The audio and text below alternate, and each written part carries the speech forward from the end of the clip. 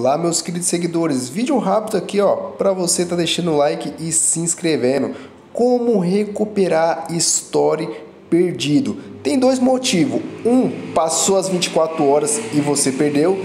Segundo, você excluiu o seu story. Então tem essas duas opções. Então vamos lá para a primeira opção de como recuperar. Já vai deixando o like e se inscrevendo aí enquanto eu vou ensinando para vocês, hein? Entra nos três pontinhos aqui, ó.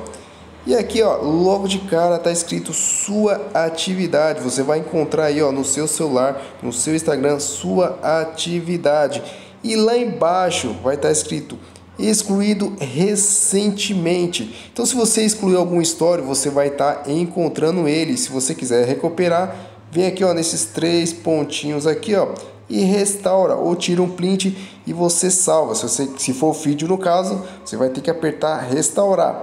Vamos dizer que não apareceu aqui, vai aparecer na parte arquivado. Então você vai apertar aí nessa parte arquivado e vai procurar aí, ó, pelo arquivo aí, pela foto ou vídeo que você acabou perdendo e você aperta aí para estar tá recuperando.